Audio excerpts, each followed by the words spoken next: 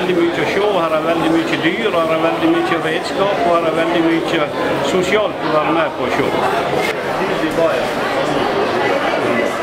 Hva gjør det deg som gårdbruker fra Sogn og Fjordane? Det er jo klart at det er fint å komme i lag med veldig mye folk og se på alle stend og dyr. og Det er jo sånn som gir en mer inspirasjon til å drive med det en driver.